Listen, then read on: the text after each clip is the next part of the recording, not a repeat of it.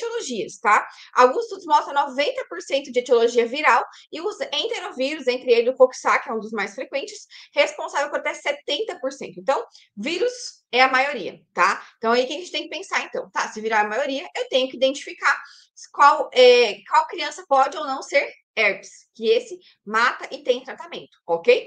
Em relação às bacterianas, a gente tem três principais agentes. O pneumococo, nosso estreto pneumônio, o meningococo, o, né, o Neisseria meningitis e o Haemophilus influenza do tipo B. A gente teve uma mudança nos últimos anos importante em relação ao pneumococo e o Haemophilus influenza do tipo B, principalmente em relação à vacinação. Então, a gente teve uma redução. Aqui são os casos de meningite. Nós tivemos uma redução significativa dessas infecções por esses patógenos, infecções invasivas, sepse, bacteremia, as pneumonias. Tivemos uma redução significativa, principalmente por conta da vacinação, tá certo? Tá, mas, mas se tem vacina, por que, que ainda tem casos, né? É uma pergunta que a gente vai se fazer.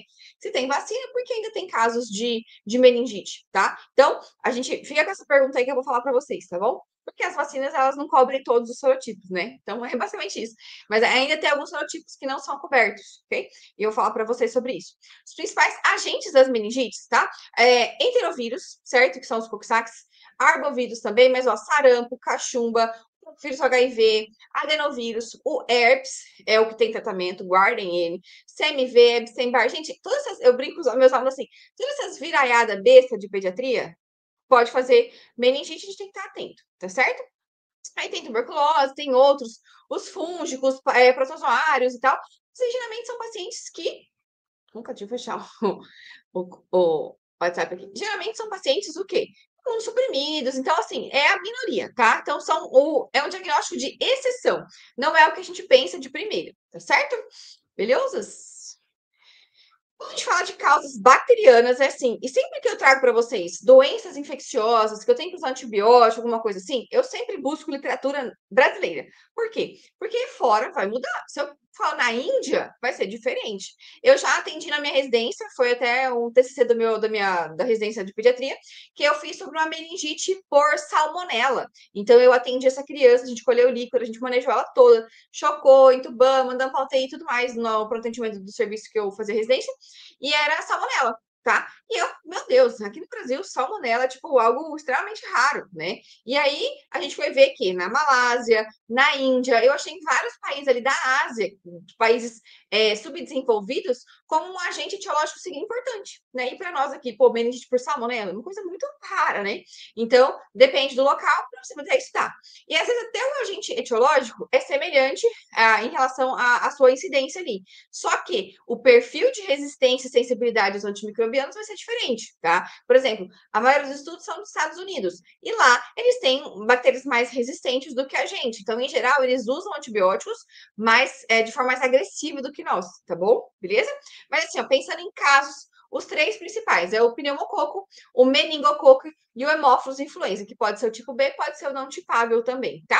Aqui nessa estatística entrou o Mycobacterium tuberculose, mas geralmente é uma meningite crônica, é, dá para fazer uma aula só sobre isso, e eu confesso, não é minha especialidade, eu não sou, não sou infecto, né? Então, assim, não é algo que, apesar de gostar muito de infecto, não é algo que eu traria para vocês, e eu acho também nem vale a pena, né? Para nós aqui na emergência, então é muito, bem menos frequente, vamos dizer assim, tá bom? Beleza? Então, lembre desses três são os principais agentes, tá? E aí a gente tem na pediatria, por isso que muitas pessoas ou amam ou odeiam pediatria. É a questão de, de 0 a 18 anos, uma faixa etária tão curta, ter tanta variação assim. Por quê? Recém-nascido é um mundo à parte, certo? Então, lembra das bactérias que passam no canal, no canal de parto, né? Então, as, os gram-negativos do canal de parto, principalmente Escherichia coli, mas pode ser Klebsiella, Proteus, o estreto agalacti, que é o nosso estreto do grupo B, certo? É um dos causadores também. Como tem sido feito suave, a profilaxia intraparto tem reduzido bastante os estretos, graças a Deus. E lembrar também de uma bactéria que ela não é tão frequente, ela, ela é frequente, ela é mais frequente na faixa etária nos extremos, recém-nascidos e idosos. Mas em relação às outras, a E. coli e, e o Streptogalacti, ela é bem menos frequente. Mas a gente sempre tem que lembrar dela por quê? Porque ela é grave e ela tem um perfil de sensibilidade diferente da, das outras. Então, ela é resistente à ceftriaxona. A gente costuma usar ampicilina para a listéria, ok? Beleza?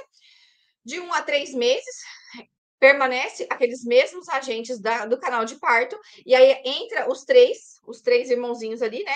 O, pneumococo, o meningococo e o hemófilos, tá?